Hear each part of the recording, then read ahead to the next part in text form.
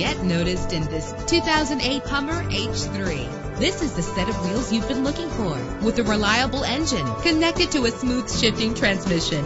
Let us put you in the driver's seat today. Call or click to contact us.